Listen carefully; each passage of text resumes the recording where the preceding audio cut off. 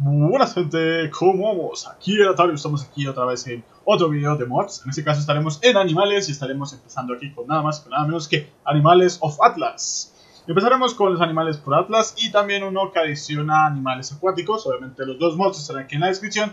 Y espero les guste, esta vez va a ser un poco más detallado con estos mods Ya que son cortos, eh, son un poquito los animales que agrega Así que no hay tanto problema por extenderse un poco bueno, empezamos con la jirafa. Esta jirafa se puede encontrar en las sabanas, desiertos y así. Esa montura se puede hacer a nivel 31, se puede craftear. Además de eso, puede llevar a otras dos personas, además del piloto. Y también farmea bastante bien la madera, que es el primario, que es como el primer golpe, el primer ataque que tiene. Y el segundo ataque es con las patas, que sería con el secundario y que además farmea berries y farmea paja. Además de esto, voy a quitarle un admin y tiene lo que es bastante bien, que es que la estamina se le reduce bastante poco, así que puede ir a largas distancias sin tanta problema de que se acabe la estamina, así que está bastante bien. Seguimos con la Moa Moa. Este es un pájaro que va bastante rápido, se tamea eh, durmiéndolo, además de esto se encuentra en selvas, se encuentra en desiertos, y además la montura se tamea al nivel, eh, se craftea al nivel 45 y esto lo que tiene es una funcionalidad muy buena, que es que dentro de su inventario podemos guardar huevos fertilizados y ella va a dejarlos hasta el 1%, obviamente de acuerdo a cómo esté configurado el servidor, así que podemos dejar el pajarito quieto ahí en algún lugar mientras que incuba los huevos y además de eso les da vida, así que está bastante bien como incubadora de huevos porque ya les deja el 1%, ya solo se les queda un poquitico de tiempo y sin contar que les va subiendo la vida en caso que tengan vida baja, así que está bastante bien. Bueno, seguimos con Omotarium. Este es un tigre es eh, basado en el tiracoleo, así que puede escalar también.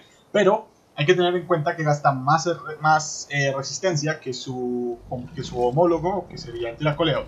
¿Qué tenemos? Tenemos un ataque principal. Cuando matamos a una criatura, nos dará carne prime, pero no nos dará piel. Y un ataque secundario que nos dará piel, pero nos dará prime.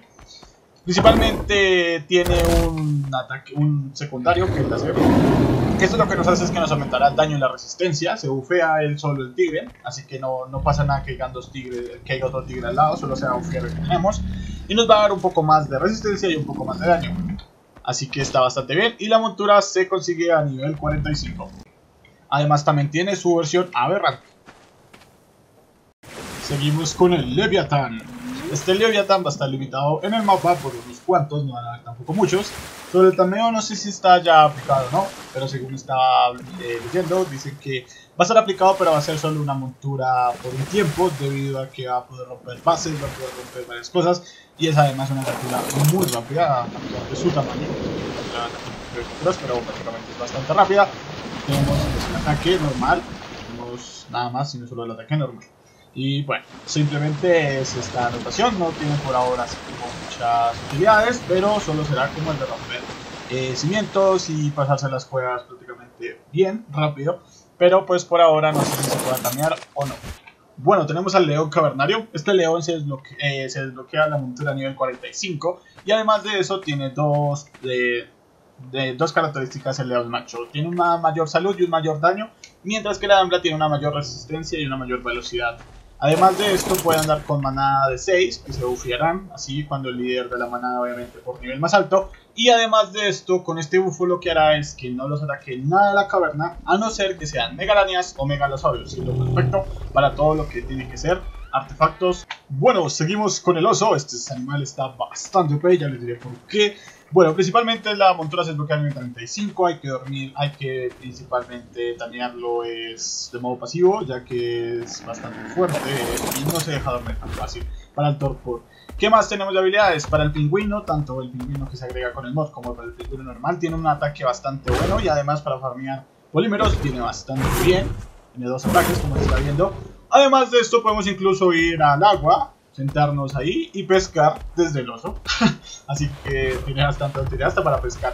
Y no solamente eso, sino también si hay debujos como lo que es el Orlovia o el Marionis que lo dejan aturdido, este no se turde porque bueno, va a seguir peleando, no, sea, no va a tener defectos de rendimiento Aún si nos bajan a nosotros del digno y estamos aturdidos, el oso va a seguir peleando, atacando. Así que está bastante bien, tanto para farmear como para defenderse eh, para defendernos en momentos críticos cuando nos bajan de algún animal o nos dejan como tontos. Bueno, ahora tenemos al Razortu o Dryptosaurus, que es parecido al Yutirannus, eh, la vida bastante baja, pero su resistencia a velocidad es bastante alta. Sin embargo, lo que tiene este es que tiene su grito, es parecido muy al Yutirannus, sin embargo, este tiene un grito que afecta también a los humanos, así que incluso si hay un personaje por ahí o hay un jugador, pues incluso hasta esa persona se va a ver afectado por su grito, así que es bastante bueno ya que no solamente el dino, sino también el jugador puede ser afectado por sus gritos.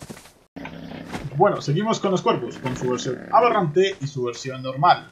Ambos se también de la misma manera, que se ven atraídos por el metal, hay que darles metal para que se vengan atraídos y poco a poco darle más cosas más brillantes y brillantes hasta que puedan bajar y poderlos terminar alimentando por carne podrida.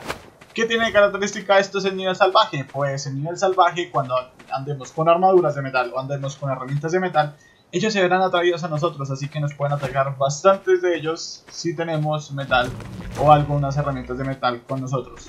¿Qué beneficios trae un cuervo? Principalmente en la creación de objetos, que digamos en este caso, tengo una habilidad de 100% cuando creemos el cuervo, nos aumenta a 135.8%, que nos viene bastante bien para crear más rápido las cosas. Obviamente solo será su utilidad, pero está curioso para tenerlo también y para la función que tiene. Seguimos con los loros. Aquí tenemos un lorito. Este loro se tamea pasivamente, lo veremos, nos acercaremos, le haremos a la E para acariciar y así sucesivamente hasta que lo tengamos totalmente domado. ¿Para qué nos sirve tener el loro? Nos permite acercarnos mucho más a los animales salvajes como si fuéramos llevando el, el traje de camuflaje, pero con el loro nos dará un beneficio mucho más alto hasta que estemos suficientemente cerca que ya se rompa la ilusión, por así decirlo, y nos descubra el animal salvaje. Pero nos sirve bastante bien para también algunos animales que sean eh, de tamaño pasivo y que no les guste que estemos demasiado cerca, como puede ser el oso que mencioné anteriormente, que nos puede servir un loro para tamearlo un poco más fácil. Bueno, seguimos con el gato. Bueno, aquí pueden ver las animaciones que tiene el gato, que irán pasando... Ahí está bonito el gatito. Que irán pasando con el tiempo. Toca estar mirándolo, que vaya haciendo las animaciones. Obviamente no se pueden, no se pueden activar manualmente, sino toca esperar hasta que las haga. Pero no solamente tiene esto el gatito, el gatito también nos permite ahuyentar todo lo que son los Ishirornis, que son esos pajaritos que te roban, los dimorfodones, los cuervos, para evitar que nos vayan a, a matar cuando estemos durmiendo con cuando tengamos el buen metal y así, ya que este es un buen medio de protección para ayudarnos contra todos estos bichitos voladores que nos pueden molestar a veces.